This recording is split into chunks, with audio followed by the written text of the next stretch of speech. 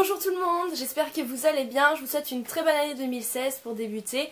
Euh, j'espère qu'elle sera remplie de joie, de bonheur, d'amour et que vous aurez euh, tout ce que vous souhaitez et que vos rêves pourront se réaliser. On se retrouve aujourd'hui du coup avec euh, cette première vidéo de 2016 qui a parlé des bonnes résolutions, forcément. moi les résolutions, j'en prends plus, parce que je les tiens jamais, soyons clairs, comme je pense beaucoup d'entre nous. On se donne toujours des super résolutions en début d'année et tout, ouais je vais manger ça, machin, mais euh, moi je les tiens jamais, donc j'ai arrêté. Je me suis dit ça servait à rien. Du coup euh, je fais plutôt des. je me fixe plutôt des objectifs, voilà, des, ce que je veux faire dans cette année. Et du coup je vais plutôt vous parler de ça que de mes résolutions que je ne tiendrai pas, parce que ça sert à rien de vous dire que je mangerai plus sain quand j'aurai envie d'un hamburger, j'irai manger un hamburger. Donc ça ne sert à rien. je vais plutôt vous parler de mes objectifs pour 2016. Le premier gros objectif que je me fixe euh, pour 2016, c'est de trouver mon chez moi, de, quitter euh, la maison familiale et de trouver euh, mon coin à moi, pouvoir créer mon espace, voilà, avoir quelque part où je, je dirais c'est chez moi, c'est ma maison, mon appartement plutôt, je ne pense pas trouver une maison. Mais euh, voilà, trouver mon chez moi c'est le plus important euh, pour cette année 2016. C'est vraiment l'objectif principal que je me donne et que je vais tout faire pour réaliser, c'est trouver mon chez moi. Objectif numéro 2, euh, ça serait de voyager. Je veux vraiment voyager encore cette année, j'ai déjà pas mal voyagé dans ma vie, j'ai la chance d'avoir pu voir plusieurs villes, mais j'ai envie d'en voir plus, j'ai envie de voir le monde entier, du coup il y a encore beaucoup de boulot.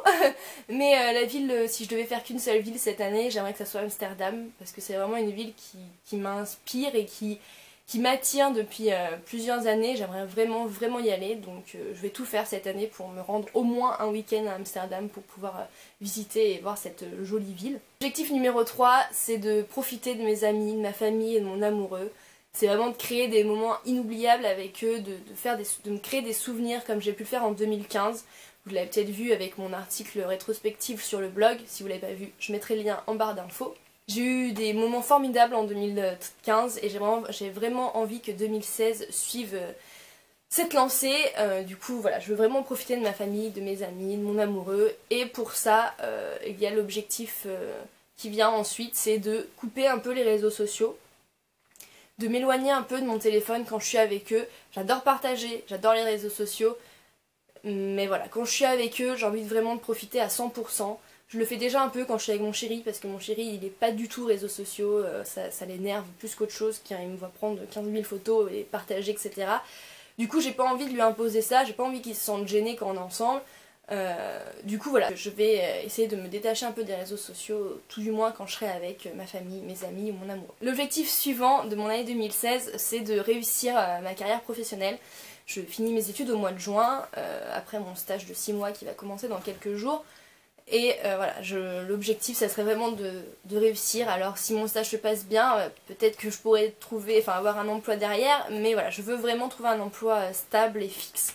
Euh, pour 2016 pour pouvoir trouver mon chez moi, m'installer, commencer ma, vraie vie parce que j'adore être étudiante, c'est bien, mais voilà, j'ai 24 ans et j'ai envie d'avancer, j'ai envie de commencer à vraiment travailler dans ce que j'aime et, me lancer, voilà, avoir une carrière, faire quelque chose de ma vie et euh, et voilà, c'est l'objectif 2016, pardon, euh, c'est de vraiment trouver un boulot pour euh, et un boulot qui va dans ma branche, bien sûr. Pas envie de retourner travailler au champ ou à Leclerc comme je faisais pour payer mes études.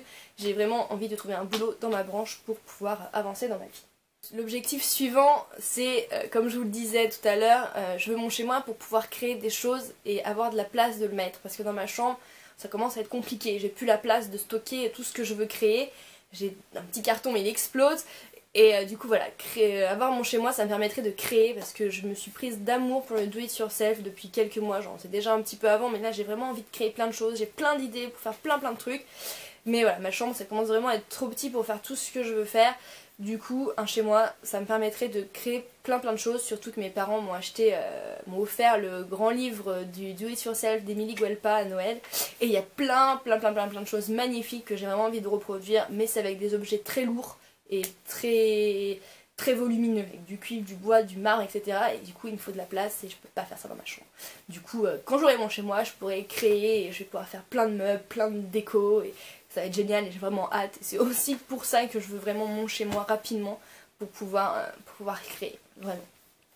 Du coup, ma dernière résolution, ça serait d'aller voir euh, toujours plus de concerts comme j'ai pu faire en 2015, parce que les concerts, c'est vraiment une de mes plus grandes passions.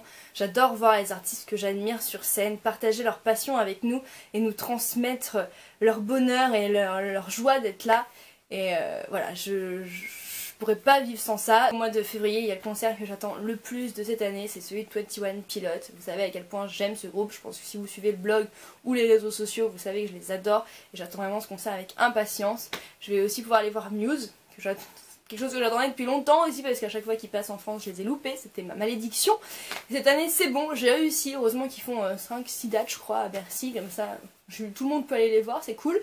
Euh, et puis après, au mois d'avril, il y a The Vamps. Pour l'instant, c'est tout, mais j'espère qu'il y en aura d'autres parce que, parce que j'ai besoin de faire plein de concerts dans une année.